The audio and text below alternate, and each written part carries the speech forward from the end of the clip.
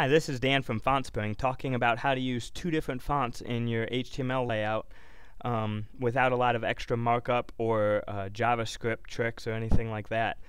This may be particularly useful if you have a font that you really like for text and another font that you like the numerals and maybe they work really well together um, or if you have an ampersand that uh, that you really appreciate the design but want to use another font for text um, it may also be good if you're using a font that has uh, very limited characters and um, you wanted to use uh, um, a symbol or something like that that, that isn't available. But maybe the default web font, uh, web safe font, you don't like the symbol, it doesn't mesh well with the font you're using. Um, so we're going to use uh, two different fonts um, for this demo, and um, one of them is Bookmania by Mark Simonson, and uh, I really like the ampersand. It's only available in the italic version, so we'll use that. And I also thought that I would use this uh, Quaddy font. It's just a cute slab serif.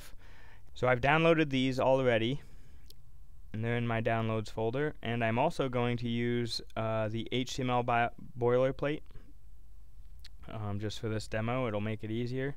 Uh, it's available at html5boilerplate.com, and basically it's just a template to start your website. So I've got that in here as well.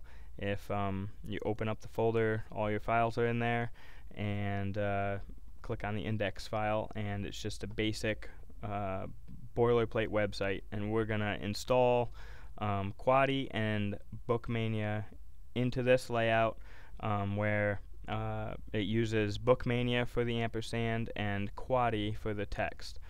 Okay, so the first thing that we need to do is head on over to our sister site, Font Squirrel, and we're going to use the generator that's available there to generate some new web fonts.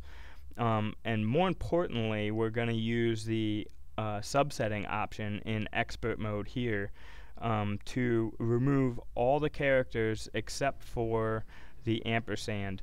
Um, and this is really the nuts and bolts of this little trick.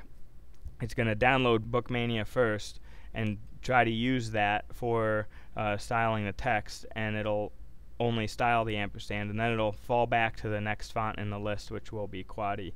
I'm going to upload our Bookmania black, but we need to use the italic version here to get the ampersand. Down here in subsetting, we're going to click custom subsetting, and rather than choosing one of the default options, um, if we just type a ampersand there, um, that's going to do the trick for us and download our kit.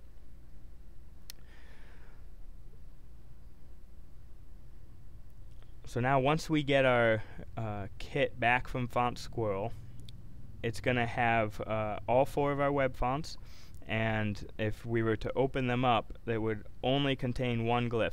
Okay, so here in our downloads folder is our uh, web font kit from Font Squirrel.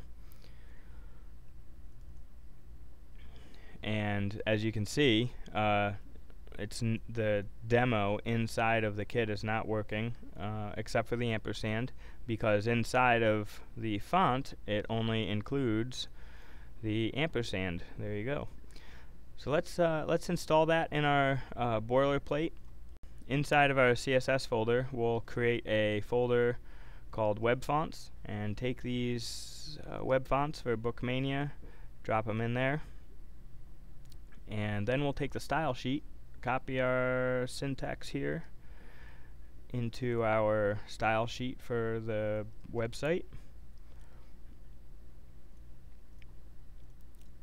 And we'll do the same thing for our Quaddy fonts, only we can use the default kit from uh, from FontSpring. We'll use Quaddy normal book and do the same thing. We'll uh, add it to our web fonts folder and open up our style sheet get our syntax from there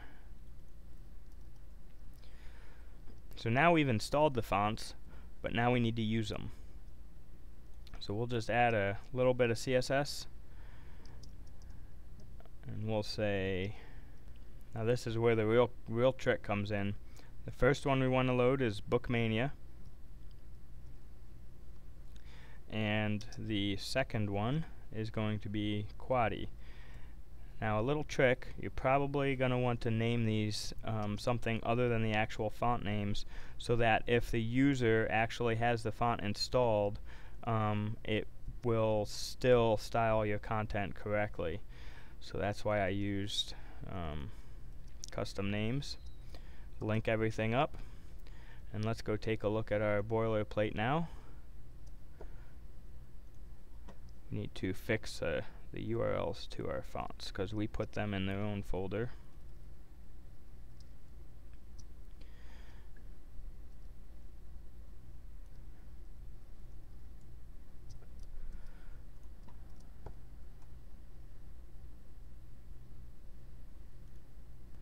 Okay, now it is styling our text with Quaddy and if we edit our HTML and add an ampersand, it will use Bookmania for the ampersand.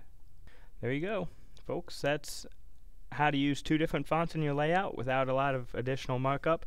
Thanks for watching. I hope you found this video useful. Remember, not all font licenses are created equal. Don't buy your fonts elsewhere and regret it later. Buy your fonts from FontSpring with confidence.